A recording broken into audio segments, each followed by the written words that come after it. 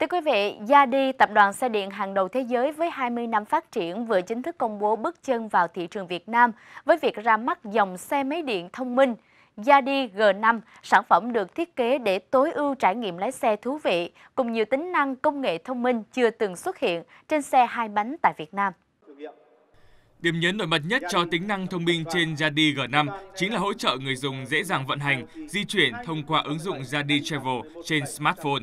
Yadi áp dụng 3 nền tảng định vị là GPS, AGPS và bắt đầu được duy trì độc lập bởi một nguồn pin 12V, giúp người dùng luôn biết vị trí xe của mình một cách chính xác. Trong trường hợp không hoạt động mà xe có dấu hiệu được kẻ lạ dắt đi, thông báo sẽ được gửi ngay tới điện thoại. Đồng thời, xe sẽ lập tức khóa cứng bánh, phát còi báo động, không thể vận hành. Với việc trang bị kết nối Bluetooth thế hệ mới, người dùng có thể mở khóa xe, tìm xe bằng chính điện thoại của mình.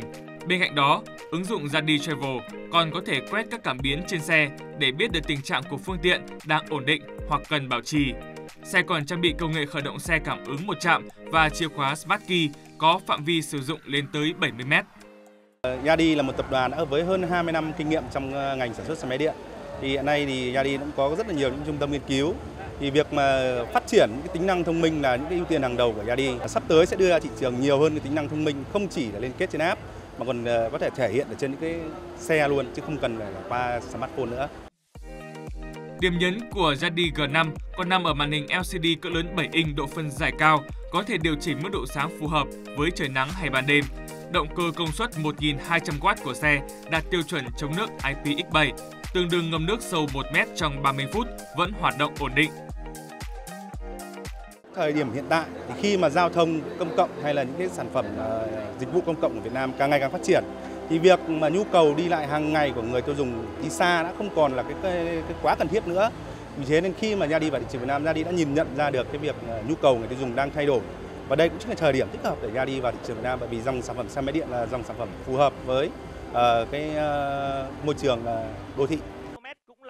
Đại diện Zadi cũng cho biết mẫu G5 sử dụng pin lithium 18650, thế hệ mới của Panasonic, tương tự dòng ô tô điện Tesla của Mỹ, với tuổi thọ được công bố lên tới 1.000 vòng sạc.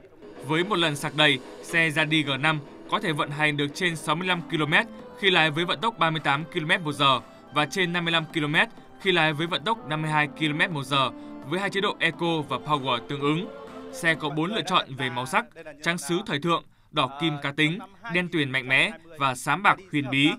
Trong sự kiện ra mắt, mẫu xe do diễn viên ngôi sao Vin Diesel là đại sứ thương hiệu được công bố là 39,99 triệu đồng.